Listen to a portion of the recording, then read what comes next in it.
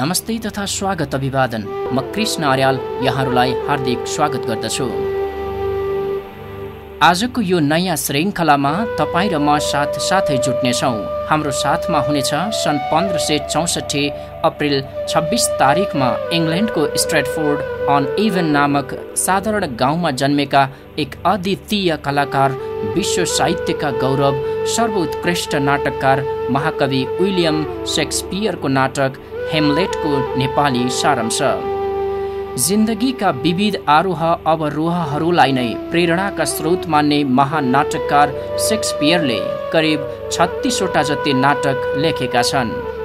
जसमा Julius Caesar Othello Macbeth Hamlet King Lear Romeo and Juliet Merchant of Venice the Tempest आदिको नाम लिन सकिन्छ। यसरी सबैजसो सर्वोत्कृष्ट साहित्य सृजनाका धनी महाकवि तथा विश्व नाट्य सम्राट विलियम सेक्सपियरको सङ्घर्षको दौरान सन् सोह्र सय सोह्रमा गएर अन्त्य भएको थियो। आज हामी उनकै एउटा कृति हेमलेटको सारांश वाचन गर्नेछौँ। हेमलेट बाई विलियम सेक्सपियर राजकुमार हेमलेट हजुरले मलाई आफ्नो सम्झना सदाका लागि जीवित राख्न केही उपहार दिनुभएको थियो। आज म तिनै फिर्ता गर्न आएकी छु। होइन हुनै सक्दैन अफेलिया। मैले कसैलाई उपहार दिएकै छैन। दिनुभएको छ हेमलेट। मलाई प्रेम गीत दिनुभएको छ। दिनेवालाले नै बिर्सिनु। यो त अन्याय भएन र राजकुमार। त्यो मेरो उपहार होइन ओफेलिया तिमी सुन्दर छेउ। मैले त्यति भनेको हुँ। तिमीमा विषालु धुवा मडारियो यो मैले भन्न सक्दिनँ। वास्तवमा अफेलिया यो हेमलेटले तिमीसँग प्रेम गरेकै छैन। तिमी यसै वैरागी भयौ। त्यसैले जाऊ। जाऊ तिमी गिर्जाघर गएर बस। त्यहाँ तिमी आमा बन्नुपर्ने पापबाट बच्न सक्नेछौ। हेर न म कति वैरागी छु अभिमानी छु लालची छु। प्रतिशोधको भावनाले भरिएको छु। त्यसैले अफेलिया तिमी जसलाई राजकुमार हेमलेट भन्छौ म साह्रै वैरागी छु। मलाई विश्वास नगर जाऊ बरु तिमी गिर्जाघर गएर बस। पापीहरूबाट छुटकारा पाऊ। यदि यसो नगरेर तिमीले बिहे गर्यौ भने म तिमीलाई एउटा दुःखदायी भविष्य बाँडिदिन्छु। जसले गर्दा तिमी झुठो निन्दामा फस्नेछौ। मान्छेले तिम्रो पवित्रतामा हिलो छ्याप्नेछन्। तिमीले मूर्खसँग बिहे गर्नेछौ र जिन्दगीभर पछुत्याउनेछौ। बरु म चाहन्छु सुन्दरी तिमी गिर्जाघर गएर बसिदेऊ। अफेलिया गीत गाउँछे। अरूबाट कसरी थाहा पाऊ हाल तिम्रो कसरी थाहा पाऊ प्रेम तिम्रो? अरूले छलेर व्याकुल भएको हृदय मेरो मृत्युले यसलाई लिएर गयो। यसमा पीडा छ शीत छ माटो छ अरू केही प्रिय छैन। हिमालको हिउँ बन्यो कमल तर ऊ पग्लेन। मधुर कुसुमले ढाकेको थियो तर कोही रोएन। चिहानको प्यास मेटाउन हिँडेकी थिए तर दुःख पग्लेर सकिएन। हिजोसम्म प्राण थियो प्रेमीको तिम्रा लागि आकाशमुनि उभिरहे। प्रतीक्षा गरे तिम्रै अनि तिमीलाई नै पुजिरहे। बस तिम्रो प्रेमकी पुजारी म त आँसु जस्तो प्रेम लिएर उभिरहे। तिम्रै इसारा कुरिरहे तिम्रै प्रतीक्षा गरिरहे। पृष्ठभूमिका केही हरफहरूसँगै सुरु गरेको नाटक हेमलेटको कथातर्फ अब लाँदैछु म यहाँहरूलाई। डेनमार्कका सम्राट हेमलेट बितेको केही दिन मात्र भएको छ। बाबुको मृत्यु पश्चात राजकुमार हेमलेटलाई जर्मनीको विटेनबर्गबाट डेनमार्कको दरबारमा बोलाइएको छ। हेमलेट आइपुगे। उसलाई आफ्नो बाबुको अपत्यारिलो मृत्युको पीडाले सताइरहेको छ। संसार विजय गर्ने साहस भएका आफ्ना बाबुको मृत्यु रगत जमेर भयो। यो कुरा राजकुमार हेमलेटका लागि विश्वास योग्य छैन। यही पीडाले पोलेर हेमलेट यता उता गर्दै दरबारमा भौतारी रहेका छन्। यता फेरि कस्तो अचम्म।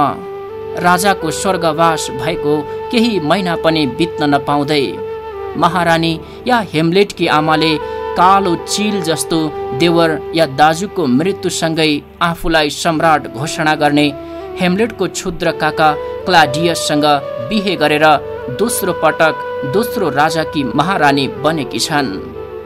आमा र काकाको यो घृणित कार्य हेमलेटलाई सह्य भएन। त्यसैले हेमलेटको मन स्थिर छैन। ऊ जलिरहेको छ। यत्तिकैमा हेमलेटको साथी हरेसियो आइपुग्छ र उसले बिन्तीको स्वरमा भन्छ राजकुमार हेमलेट हामीले हिजो राति हजुरको स्वर्गीय पितालाई देख्यौँ। उहाँले अन्धकारमा सैनिक भेषमा यही दरबार वरपर तीन पटकसम्म ओहोर दोहोर गर्नुभयो। सायद यो असन्तोषले भड्किरहेको उहाँको प्रेतात्मा हुनुपर्दछ। तैपनि हेर्नुहोस् न राजकुमार उहाँको साहसी ठाट उस्तै छ अनि उहाँको राजसी हिँडाइ उस्तै छ। हरिसियोको यो वाक्य सुन्ने बित्तिकै हेमलेटले त्यसै रात बाह्र बजे आफ्नो बाबुको प्रेत आत्मालाई भेट्ने निर्णय गर्यो र साथीहरूलाई यस सम्बन्धमा शान्त रहन आग्रह गर्यो। उता नयाँ सम्राट हेमलेटका काका क्लाडियस आफूलाई बाबु स्वीकार गर्न हेमलेटसँग अनुरोध गर्दछन्। हेमलेटले आफ्नै विश्वासघाती आमा र अवसरवादी काकाको त्यस विवाहलाई घृणा गर्दछ र ऊ सन्देहसँगै कालो कुचक्रमा भित्रभित्रै जलिरहन्छ। दिउँसो गरिएको निर्णय अनुसार हेमलेट साथीहरू हरेसियो र मार्सिलसको साथ दरबार बाहिर निस्कन्छन्। यति बेला रातको बाह्र बजेको छ। चिसो शरीरै कमाउने जाडो। दरबारभित्र नयाँ सम्राटको खुसियालीमा बजाइएका बाजाको गडगडाहट। यसैबीच हेमलेटको अगाडि एउटा प्रेतात्मा देखा पर्छ। हेमलेटले आश्चर्य व्यक्त गर्छ। यस अर्थमा कि त्यो प्रेतात्मा तनाम उसको बाबुको थियो। ऊ चिच्यायो भगवानले रक्षा गरून्। ए आत्मा तिमी दुष्ट हौ कि असल? म तिमीलाई पिता सम्राट हेमलेटको नामले पुकार्छु। भन तिमी किन यहाँ भड्किरहेका छौ? कारण बताऊ सम्राट। हेमलेटको यो प्रश्नसँगै त्यस प्रेतात्माले एउटा इसारा गर्यो। जस अनुसार हेमलेट यसकै पछि पछि लाग्यो। यसको केही बेर पछि एकान्तमा पुर्याएर त्यस आत्माले राजकुमार हेमलेटलाई भन्यो हेमलेट हेर म अब नरकको त्यस आगोमा जान थोरै मात्र समय बाँकी छ। यदि तिमी तिम्रो बाबुलाई प्रेम गर्छौ भने मेरो कुरा ध्यान दिएर सुन। हेमलेट छोरा मेरो मृत्यु भनिए जस्तो सर्पले टोकेर भएको होइन। त्यो झुट्टा हल्लाले डेनमार्क बहकाइएको छ। हेर मलाई षड्यन्त्र गरेर मारियो। हेर हेमलेट एक रात म सुतिरहेको बेलामा तिम्रो काका क्लाडियस विषको सिसी लिएर मेरो कोठामा छिर्यो। र त्यसले त्यस विष मेरो कानमा हालिदियो। जसले तुरुन्तै मेरो रगत जम्यो र मेरो सास छिन्यो। मैले तिमीलाई छोरा पनि भन्न पाइन। आज त्यही हत्यारा भाइ सम्राट बनेको छ। तिम्री आमाको पति बनेको छ। हेमलेट म प्राश्चित गर्दछु कि मैले बदला लिन सकिन। तर तिमीले सक्नुपर्छ बाबु। अनि तिमीले डेनमार्कको यस पवित्र राज सिंहासनलाई पापको घेराबाट हटाउनु पर्छ मलाई विश्वास पनि छ तिमीले यसको बदला अवश्य लिनेछौ। हेर जुन क्रि जुन किरीको प्रकाश केही फिका पर्न थाल्यो बिहान हुने लाग्यो। अब म जानुपर्छ। हेमलेट बदला लिनु। मेरो कुरा कहिल्यै नबिर्सनु। ल त बाबुको आत्मासँग भएको यो पहिलो भेट। यसपछि हेमलेटले कहिल्यै पनि शान्तिको सास फेर्न सकेन। बदलाको भावले छटपटिँदा छटपटिँदै हेमलेट पागल जस्तै देखियो। उसको यो पागलपन अनेकौं तर्कनाहरू देखा परे। यसको एउटा प्रमुख पाटो हेमलेटकी प्रेमिका ओफेलिया लाई मानियो। अफेलिया पनि हेमलेटलाई माया गर्छिन् तर राजनीतिको जालमा परेर उसले आफ्नो बाबु पोलिनियसको सल्लाहमा हेमलेटसँग प्रेमको टुङ्गो लगाउन रचित नाटकमा सहभागी बन्छे। ऊ भन्छे राजकुमार म तपाईँको सम्झना फिर्ता गर्न आएकी हुँ। उसको ढङ राजकुमार हेमलेटलाई प्रष्ट थाहा हुन्छ। त्यसैले हेमलेट भन्छन् यसको आवश्यकता नै छैन। मैले तिमीलाई माया गरेकै छैन। अफेलिया अत्तालिन्छे र भन्छे हे ईश्वर यस्तो श्रेष्ठ व्यक्ति कसरी पागल भयो? उसलाई क्षमा देऊ। ऊ जर्मन नजाँदासम्म त यस्तो थिएन। परदेश गएपछि किन यसरी बदलियो? हे भगवान म प्रश्न गर्छु। तिमीसँग प्रश्न गर्छु किन हरेक प्रेमीले आफूहरू परदेश गएपछि आफ्नै प्रेमिकालाई बिर्सने गर्छन्? किन बिर्सने गर्छन्?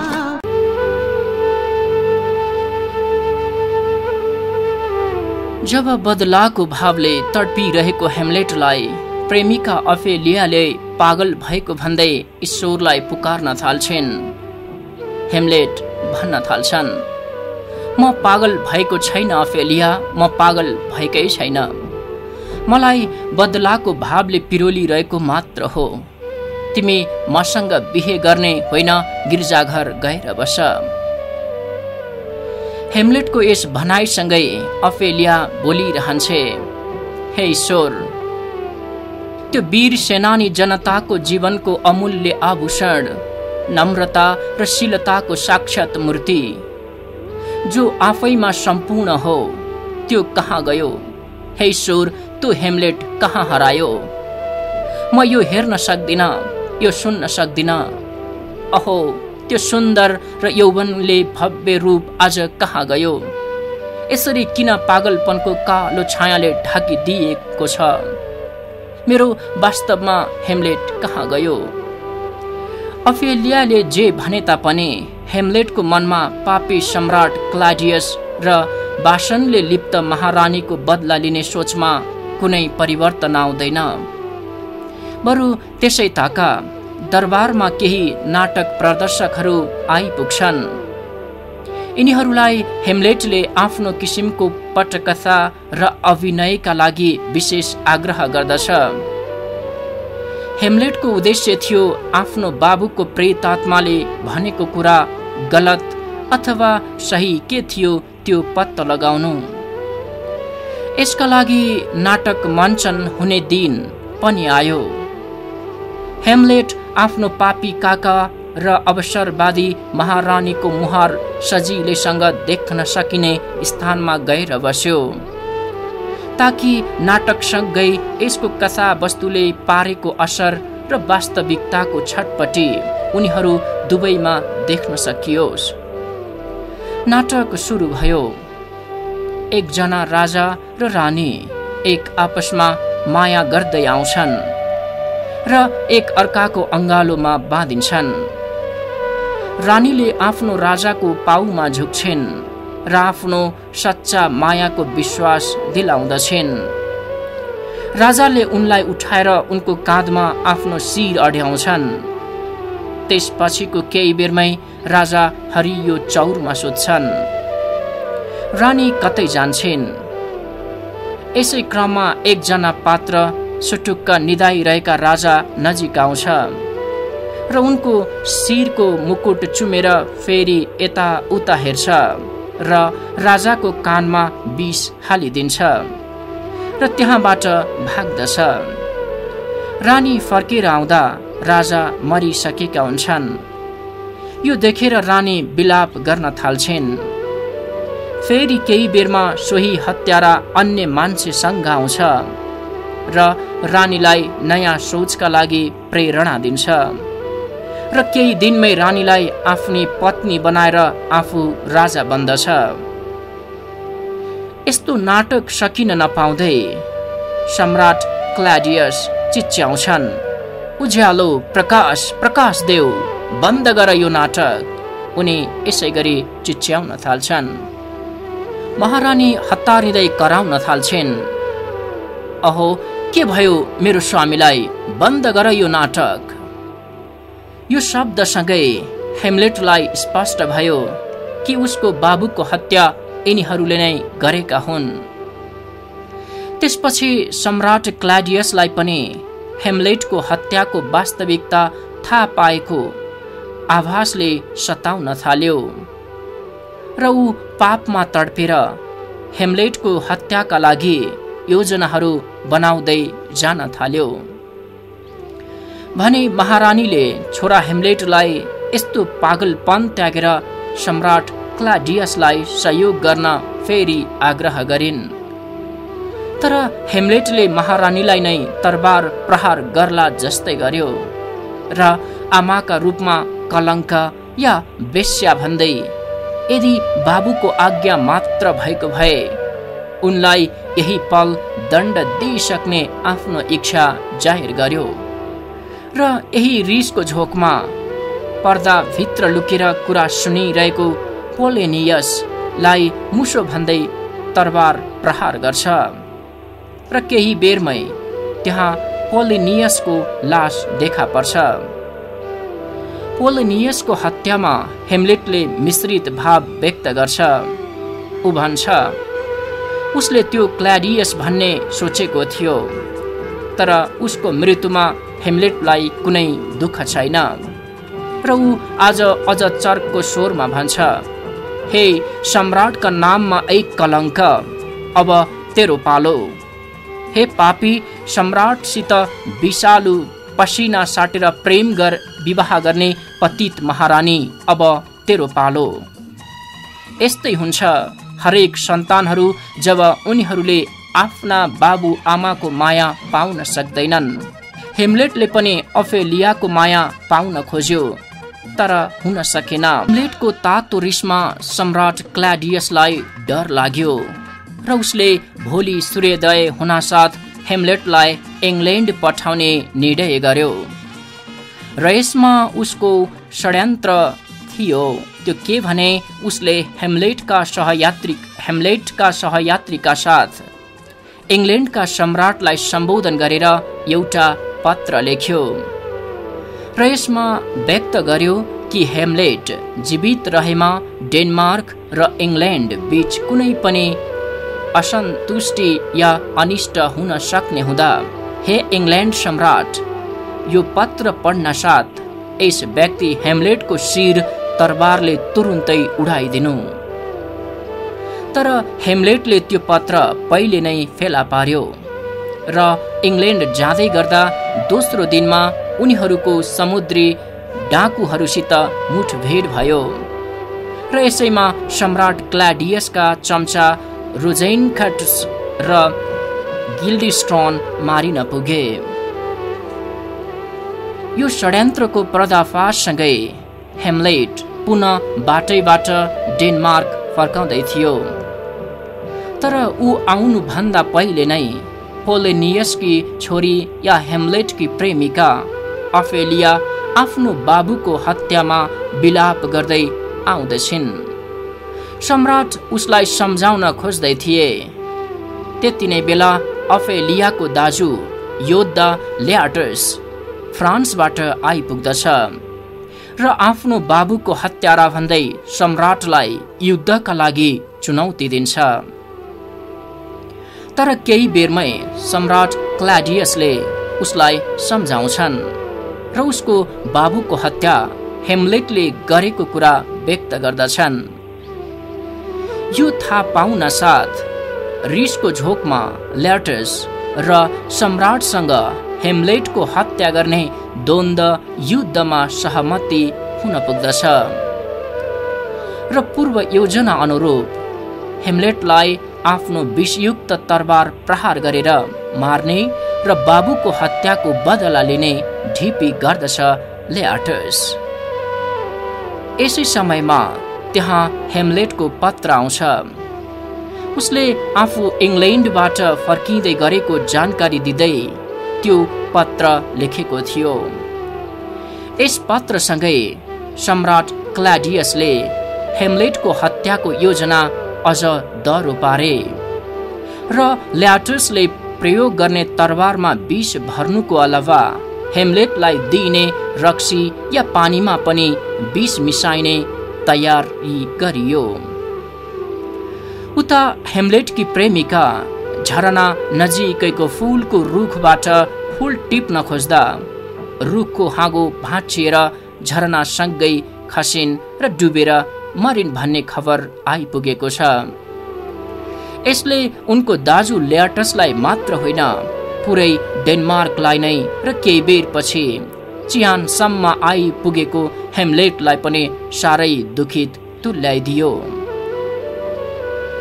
अफेलियाको मृत्युमा आश्चर्य मान्दै उभिरहेको हेमलेटलाई देख्न साथ आफ्नो बाबु र बहिनीको हत्यारा भन्दै ल्याट्रसले एक्कासी हेमलेटमाथि आक्रमण गर्यो। उसको यो आक्रमणसँगै मूर्छित हेमलेटले पनि उसँग लड्ने प्रहण गर्यो। र प्रेम मिश्रित भावमा अफेलियाका लागि केही बोल्न थाल्यो।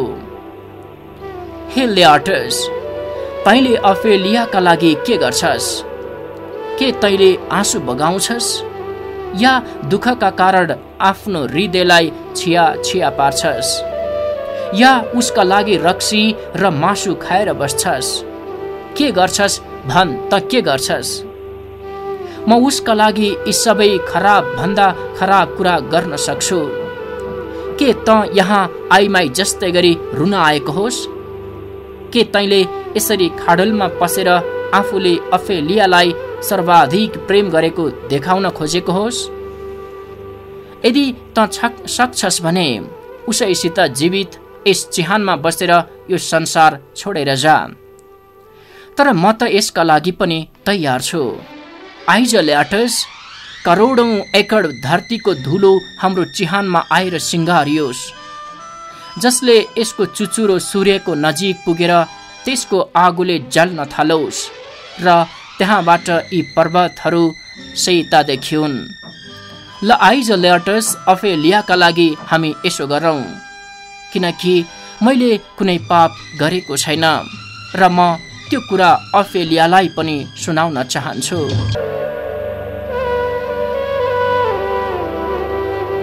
यसै चुनौतीको भनाभन हुँदाहुँदै सम्राट क्ल्याडियसले ल्याटसलाई सम्झाउँदै लगे र केही दिनमै योजना अनुसार उनीहरू दुईको तरवार युद्ध गराइने घोषणा भयो।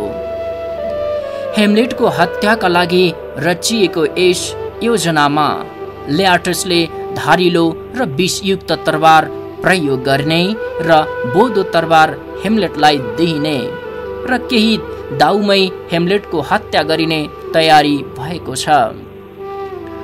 अझ सम्राट भन्छन् तरबारको प्रहारले नमरेमा हेमलेटलाई खुवाउनका लागि विष मिसाइएको रक्सी तयार गरेका छन्। युद्ध सुरु हुन्छ। योजना अनुसार तरबार उठाइन्छन्। लगातार तेस्रो पटकसम्म हेमलेटले विजय प्राप्त गर्दछ। भने धारिलो र विषयुक्त तरवारले ल्याटसले हेमलेटको शरीरमा एकपटक प्रहार गर्दछ।